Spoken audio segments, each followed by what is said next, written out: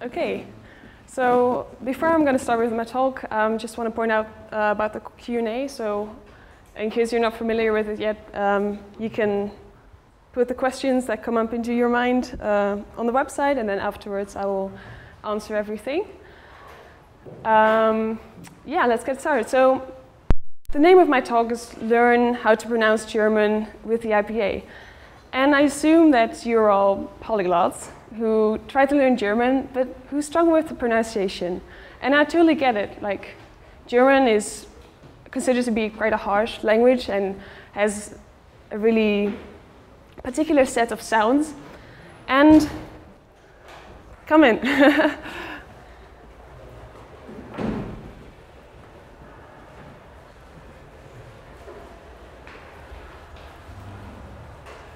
Thank you. And I can understand that if your mother tongue is very far away from German, that it's quite hard to, to learn how to pronounce these sounds. And actually, my mother tongue is Dutch. I am not German, but I've been living in Germany for three years now. And Germans tell me that my pronunciation is, is pretty good. And of course, that's one of the biggest um, compliments that you can get when you learn a language. So I wish I knew what I'm going to tell you now, because I learned to pronounce German words with the help of a lot of audio input. So I listened to a lot of crappy radio shows and television shows. Some of you might know RTL. so that's like stuff that is easy to understand, but it's just so much easier with the IPA to learn how to pronounce word, especially if you're offline. Like if you don't have an internet connection, what are you going to do? You're, you can't uh, listen to a radio show. So I've got some Facebook comments on this. a lot of people thought I was going to talk about beer. Of course, IPA can also stand for Indian Pale Ale, but unfortunately, I'm not going to talk about beer today. Um, I know Germans, beer, they are kind of related, but um, of course, we can go for beer afterwards, or you can invite me to your event and I can, yeah, very good. Um, and we, I can tell about German beer culture. But today we're going to talk about something different than the IPA that you know.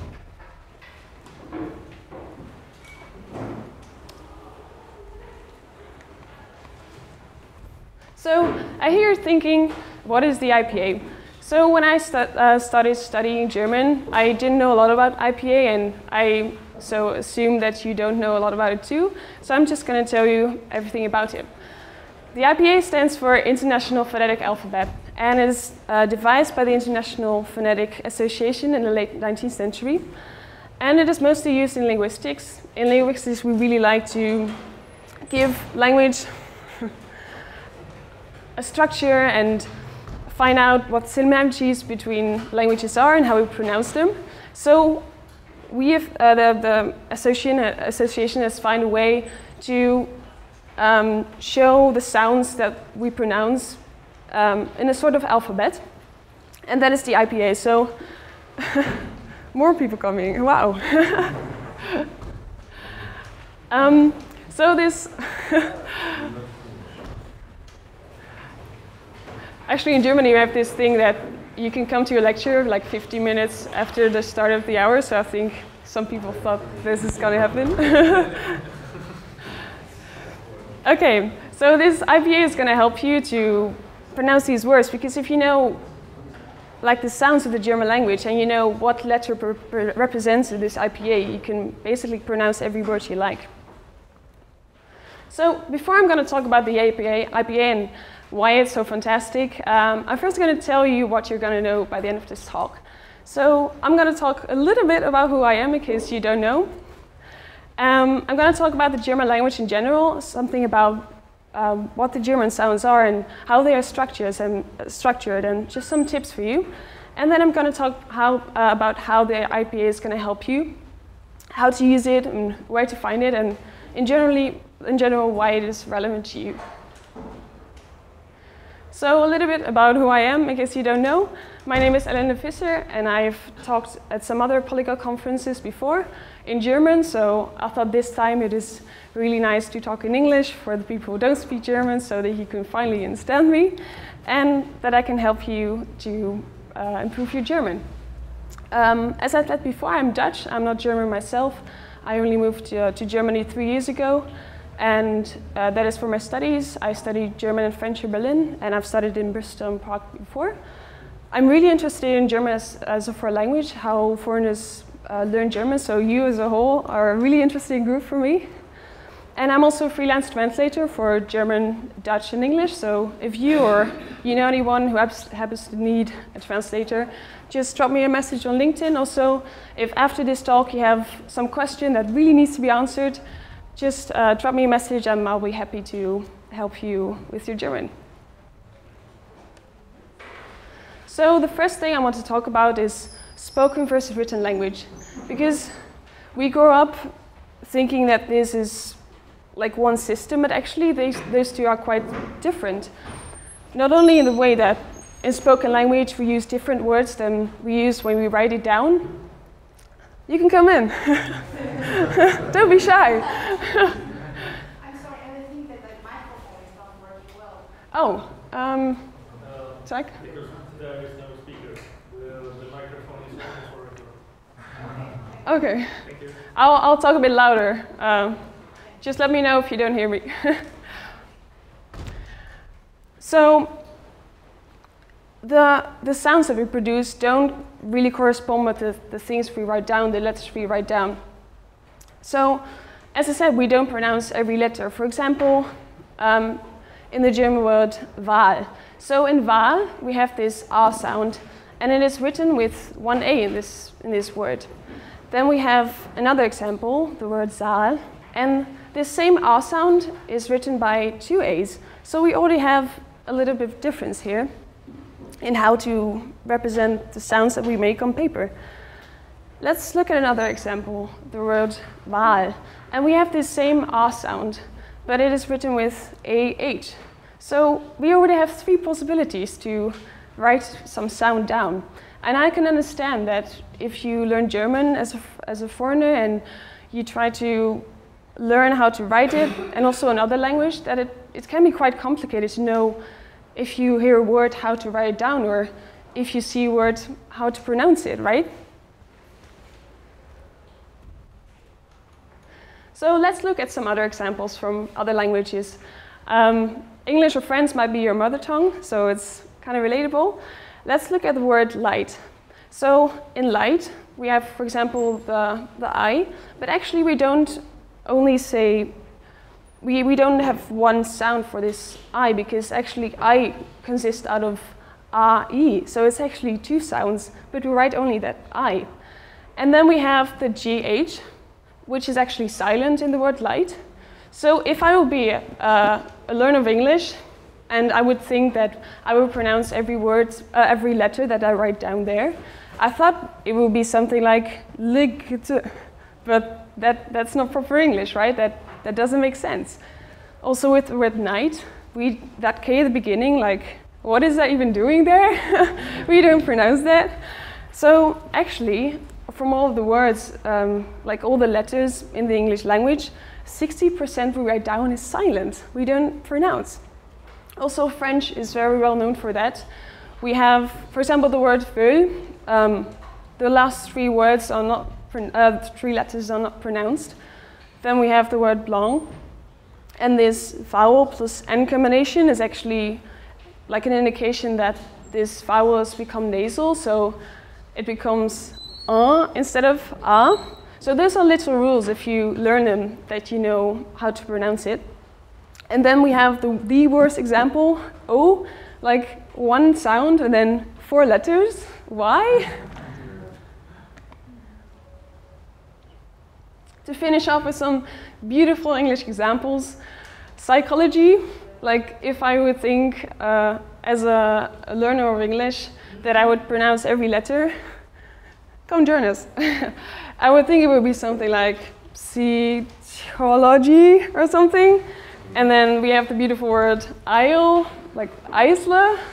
I'm not going to even start with Q, like, why, why do we write it like that? So the main point I want to make is that we don't write every sound down we make or like not every letter corresponds with the sound we make. And that can be a critical thing when you learn a language. I mean, any language. Some languages um, are more, have more like a phonetic writing system than others, like English and French, and more Slavic languages. It's more easy to, to know how to pronounce the word. And a really interesting thing here is that spoken language changes faster than written language. That is why um, that there is a big gap between the spoken and written language, because spoken language changes all the time. Like each and every one of you has like an individual language. We all use words that are different from others and like different amounts um, of that same word in a day. Like is not the same um, that all of you do. So every person have li has like a yeah, like a personal language, like personal vocabulary that he or she uses. And this is not only different between each person, but also within groups. Like people from lower class speak differently than people from higher class, use different vocabulary, use different kind of syntax. Um, everything is different. Everybody's language is unique, basically. And um, not only to mention the, the, the, influence of other languages. For example, in German, we have really big influence of um, American English. So not only the language, like the community that speaks the language changes the language, but there are also really big factors from outside that change the language. So spoken language changes very fast. But then there's written language. So we are humans, we really like to hold on to rules, hold on to a spelling system. We don't like change. So this writing system that we use um, must be the same for everyone. And it can't be like the spoken language we, we, we use, that it's like unique for everyone. But for the whole, it's really important that we use the same writing system. So this written language stays the same, the things, like how we spell it. So that's why it's a really big difference between this spoken and this written language.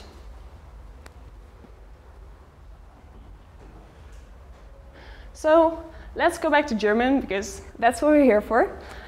Um, let's go to the word Flasche. And we also see here that we don't pronounce every letter. Um, it is Flasche, not Flasche.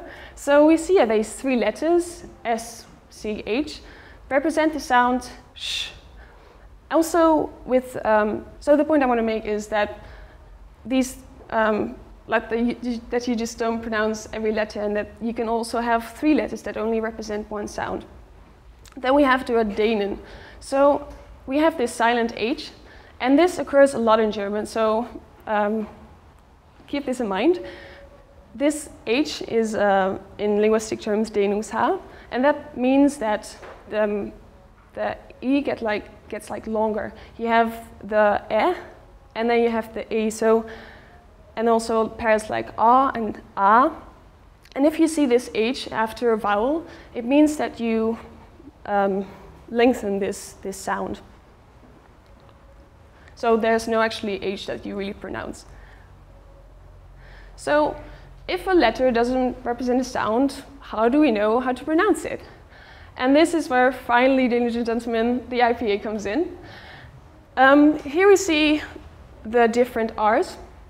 In Germany, in the southern part of Germany, you have, for example, the R, and the normal is the H. And it is all about where to pronounce the sound in your mouth. So we're going to get a little bit medical here. you see the places of the tongue is different. And then this whole IPA system, we, we look at where to pronounce this sound in your mouth and how, what, what you do with the lips. Um, so it is all about the place of articulation. Like, as you can see, there's a lot of places where we can pronounce a sound in our mouth. And it could be that some sound in German is different from, a little bit different from the, some particular sound you make in your mother tongue. So if you, if you produce this sound a little bit more in front of or in the back of your mouth, then it might be a slight difference and that can make you sound less native. So if you're aware where these sounds are, are made, um, then your accent is probably going to get better. So let's take a look at the IPA. we see here the consonants, and you see here, for example, labial. So these are linguistic terms, you can forget them. But labial means that it, it is in the front of your mouth. So we have, for example, m, p, b, f, v. And if you pronounce this row, you feel that it's all pronounced in the front of your mouth. Um, for example, we have also glottal sounds, which are pronounced here. And the, like the H uh, symbol is meant for h. So you, you feel that's made here. And if you practice these rows and then you feel that those are pronounced at the same place of articulation, then you, your German might get better. And if you see the difference or feel the difference between these sounds that are made that you make in your mother tongue and in German, um, it might improve your German.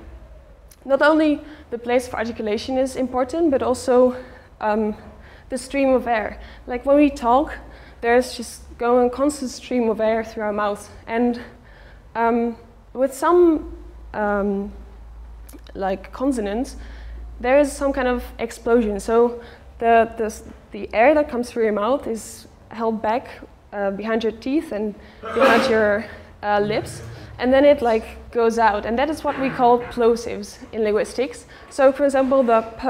If you say p, you, you really feel that there's like energy that comes out. Um, so it is really interesting to be aware of these kind of facts about the sounds that are made in a particular language. Let's move on to the vowels. So in the vowels uh, system, we also have a few, um, we also make the distinction where it is made. So we have vowels that are made in the back of our mouth, so like the O and the O, but also in the front, so like the E. And with the vowels, it is important to know what to do with your lips. So we have vowels that are made with like open lips, like a A, and also with closed, like the E. And if you pronounce the I and you close your lips, you automatically get to the E. So like I. so if you are aware of where these sounds are made in your mouth in German, um, it is really possible that you improve your pronunciation. So these images here, that is like every sound that is made in German. So what I want to tell is, if you know what all these like letters mean or like how they are pronounced and you look into a dictionary, you can basically pronounce every word you like. And that is great. so I'm not gonna like talk about every sound that, uh, that was in that image, but I'm just gonna tell a little bit about the, some, some very important aspects, some inside tips in German phonology. For example, we have unvoiced and voiced pairs. So what does that mean? For example, we have F, like f, and the vocal cords are not vibrating. So then we have the other um, sound in that pair, the V, and it's actually the same sound, the f, but then you let your vocal cords vibrate. So if you place your hand here, you can feel it. And that is with a lot of um, consonants. So we have the K and the G. And maybe in your native language, there is for example, k, but there is no voiced equivalent of that. So it is really important that you're aware of these kind of pairs. Then we come to another important um, feature of German, and that is the ich and achlaut. So I was talking before about um, that some vowels are pronounced in the back of our mouth and some are pronounced more in the front. And this sound, the as you can see, is more pronounced in the back. So we use this ch, only um, when we have a word with a vowel that is also pronounced in the back of the mouth. And that is because we humans, we are lazy, like we pronounce words as easily as possible. Like language is there to get, get a message across, to communicate, and we don't want to spend too much energy on articulating, right? That is also the same with the sh. And in the image here you see that the sh sound is made more in the front of your mouth than in the, the back, the So that is why this sound is used, um, is yeah, produced in, in words with vowels that are also more pronounced in the front of your mouth. So that's why you have wach, doch, kuchen. And if you try to pronounce this wach, doch, kuchen, with that sound, you, you notice that it's, it's quite hard to pronounce it. So, wach, doch, kuchen, that, that is quite hard because these sounds, those are so far away in your mouth. What do you use? Uh, you know, uh, the third one. Uh, where, where is it also used in German? Um, I'm not sure about that, I think so. but we don't have time to talk about every IPA symbol, so I just want to, yeah, I just picked a few out. So then we come to the Lehrerschwa, and that, I think this is one of the most important things to write down because a lot of German words end with ER, so a lot of foreigners think that you have to pronounce it like R, that there's a real R in this word, but let me tell you something, there isn't. Actually, this R sound, like this, this R that we think it is, is actually a sound between R and E, so like A. And that's what we see in, for example, Lehrer. We don't say Lehrer, we don't say Lehrer, but we say Lehrer. So it's kind of an R sound. And if you try to um, uh, practice this R sound, you'll sound definitely a lot more native. So let's look at some examples. We have Lehrer and Beta. Um, even one of the most used words, like the article der, is not der or der, but der. So as I said before, like, why is this relevant for you? Here we see a picture, a picture of a, a dictionary with the word dictionary, and you see the IPA transcription. So if you learn every letter in this IPA, this International Phonetic Alphabet, and the next time you open a dictionary, you can pronounce the word. And that is very nice because when you're happen to be offline, uh, you can still practice your German. So yeah, the key point, learn to pronounce every word you like by learning the International Phonetic Alphabet. So a quick summary, because I know this has been a lot of information. Um, letters don't generally, uh, generally don't correspond with the sounds we make. So we sound the word light. This RE sound is only written by one I, and this GH was silent. Then you could try to pay attention to the voiced and unvoiced consonants, the Lehrerschwa and the Ich and Ach and learn the IPA, and your German will get an upgrade. So I just want to put a little disclaimer here because I, I'm still studying. I'm not a professor in German phonetics or a PhD student, so don't expect me to answer every question of you in detail. also, I don't know the whole German like language history, so uh, yeah, that's just what I want to tell you before we go to the Q&A. And as I said before, if you happen to have a question after this Q&A session that really needs to be answered, feel free to just drop me a message and I'll, I'll be happy to answer as well.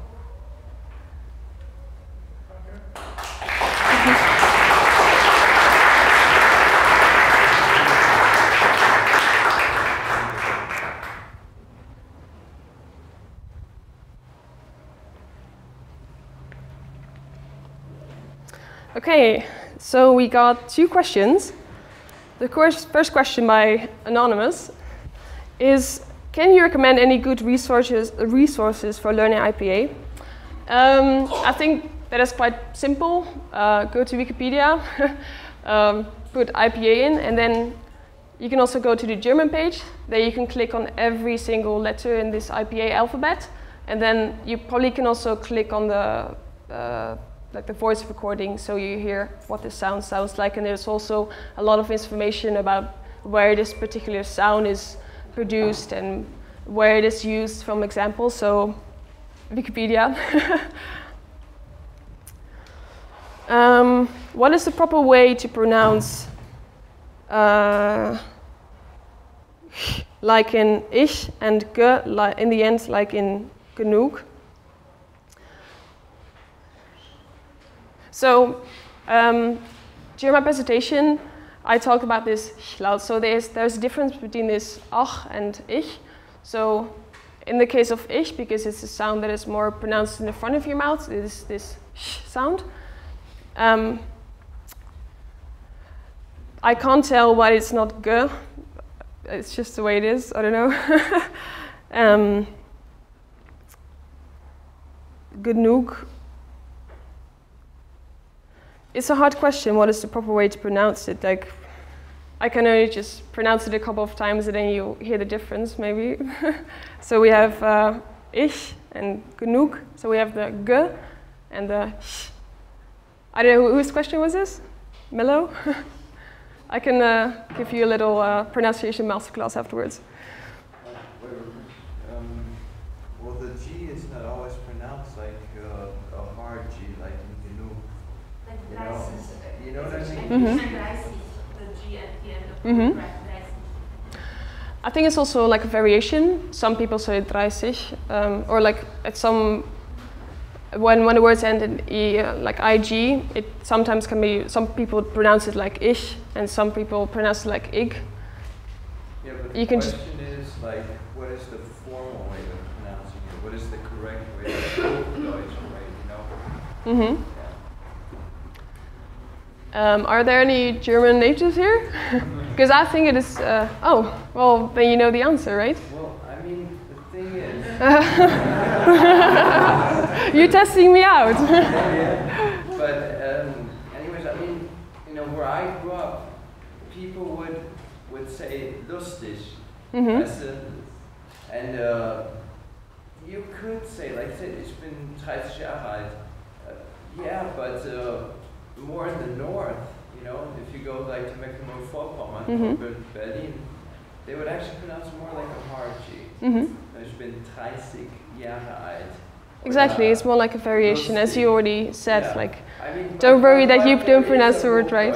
Way, though. You know, this is the dialect, but I, I, I have not studied, you know, Germanistik, Germanistik. hmm But anyways, um, there is a proper way, and there are rules concerning this, though. I think it, the the proper way is 30. I've, I've, I've, I remember from some seminar that this is actually also, um, yeah, just just a variation, as you said. Like there are also things like in um, Rheinland-Pfalz, you say uh, pfeff- pfeffer, uh, pfeffer without the p, and then the standard is pfeffer. Ah, okay. So, yeah, like who who who decides what's right, right? Like it's it's a hard question. Like there's no there's no actual rule.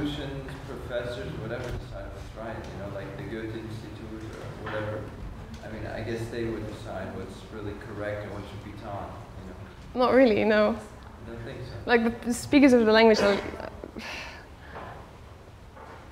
it's it's hard to answer this question. Like it's there's no no one in the country that says 30 or 30 is right. You can only say, okay, we see the statistics, and in the statistics say that 30 is used more. Then we could say, okay, 30 is the more used form, but it's not like the correct form.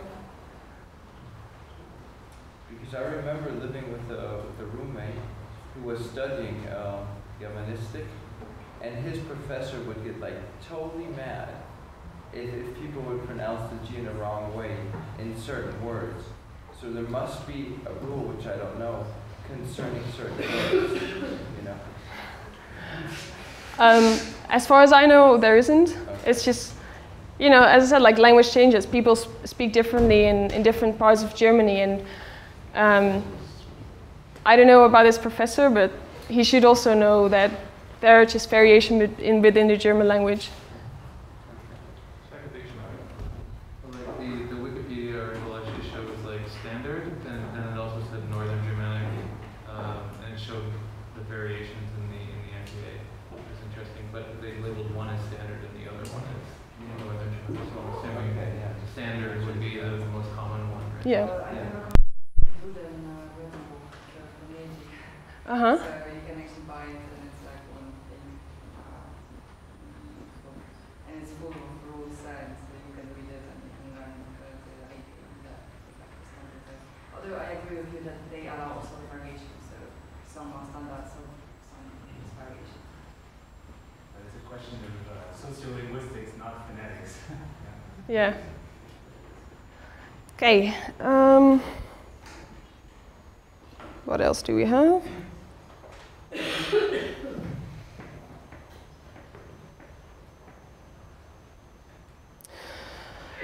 There's a question, could you please give a brief explanation about the length of the vowels in German and do we know what, the different, uh, what to differentiate between the short and long ones? Um, I don't think there's a brief explanation, but um, we can talk about this afterwards, Jossi. mm. Do you think it would be wise to teach the basics of phonology as part of any language learning um, by Anonymous? Um, I think it is. Uh, as we saw before, like this uh, Lehrerschwa, that's, that's something that occurs so much in German, and if you, if you are aware of that, if you're aware what letters, like we linguistics, we say graphemes, what, what that represents, like what sound that represents, I think that would be really useful, like in, in uh, language learning, yeah. Mm.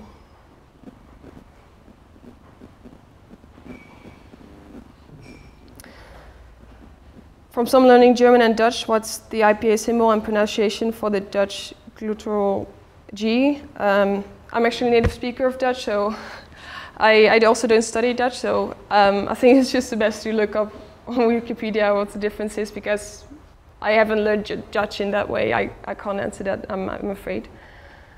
Mm. How to pronounce R at the begin, uh, beginning of a word like in Regen? It's not in French, is it? Uh, isn't it?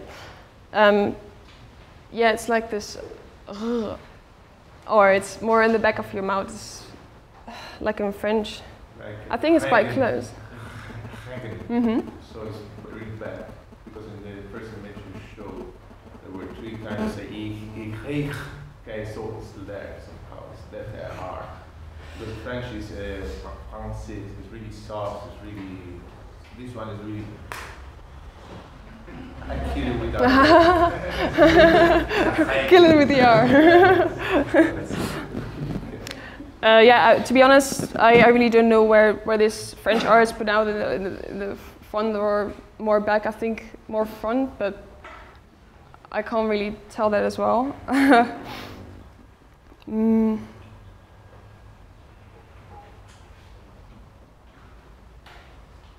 How do dialects play into this? I've been told the sh in ish is more in the back in many dialects and even more like sh in others. Yeah, as we've mentioned before, there are uh, variations between in the German language. Um, there are some people, people in Berlin who say ish, but that's just, yeah, as I said, people just speak the language in a different way, and there are variations. But um, in this case, ich, this is is the standard uh, uh, German. Yes. Okay, I would like to say, uh, well, in Rheinland-Pfalz, in the Mosel region, uh, we speak Mosel Frankish. hmm And, and that's where we pronounce every CH like SH. We, we would say Gesicht, hmm we would say ish, but, but it's a wrong way to say it, of course. And then in Berlin, they say, they don't say i, ich, they say ich. You know, so Mhm. it's, and then we see that the, that it gets changed. We, we have a consonant change, you know, and we also Mhm. have many other consonant changes in Mosel Frankish where all the, the S's become a T. We don't say das, we say dat. hmm You know, also with two S's, you know. Yeah. And we don't say S, we say et. So it's pretty actually pretty close to Dutch. You know that that's different. Yeah. Yeah, I actually gave a, a if you're interested in that, this the to s difference. I gave a talk to that uh, about that in Reykjavik, so that's online. But um, as mentioned before, like, this is more like a social linguistic thing. Like my opinion is that there's not really a wrong or right. Of course, there's just regional variations. Like I think it's wrong to say that ish, it's what you pronounce in Rheinland-Pfalz is is is wrong because yeah, that's just a regional variation. That's just how people talk like that, and who, who is entitled to say that's wrong, you know? So many million people are doing it. Yeah. um, what time? Okay.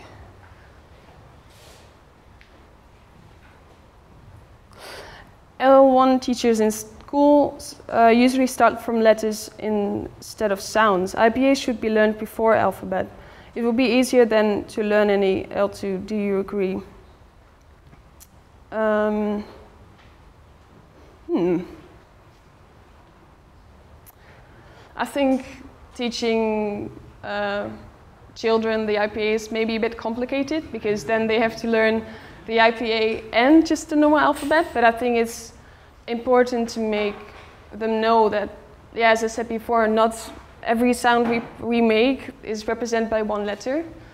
That is, yeah, basically the main point of IPA as well. Like we want to represent one sound in, in one kind of character. So I think that that that lesson I think is important to, to teach children. Yeah. Any other questions? Um, yeah. Yeah. Uh, know, usually in, in Romance languages, so we have kind of like in French liaison, so we just Mhm. connect words in a kind of rhythm. Yeah. But in German, you have a really tough rhythm, but that uh, as kind of s- has sense. I don't know why. So you have kind of connections between words that permit to make this sound more mm, smooth. hmm Even if it's kind of like a drum. Yeah. Exactly. Um, in German, there's such a thing as there's some glottal sound that is between words, between syllables. That's why German is quite like it's quite sound quite hard. It's not like French. It's like it's uh, yeah. It's I actually wanted to put it in a presentation, but it's just a, a really big topic to talk about. It it is yeah. It's, it's quite distinctive for German. Um, um, in German, it's Glotalverschlusslaut. So if you're interested in that. Um, you can also look it up on Wikipedia, but it's just a, a really big thing. So I, I thought I didn't have enough time for that for presentation. But um, yeah, as you said, this um, Glotalverschlusslaut, I don't know how to say it in English, um, but um, that is between uh, words and it, between syllables most. I don't know how to write it because I. I'm Do you want to have the IPA character for it? What, sorry? Do you want to have the IPA character for it? I can. Mm, yes. Yes. Okay, so um, for example,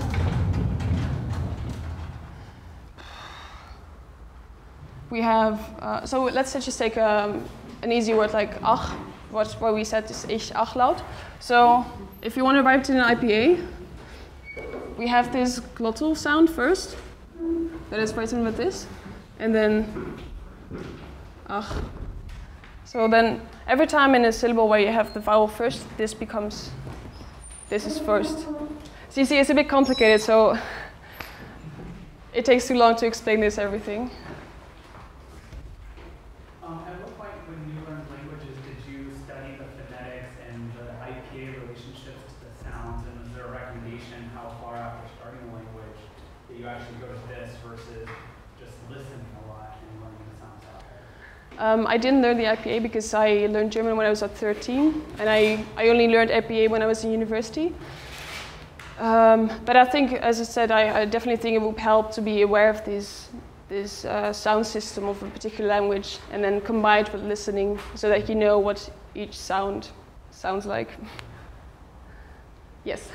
Is um, reading or studying phonetics a way to eliminate one's uh, native accent?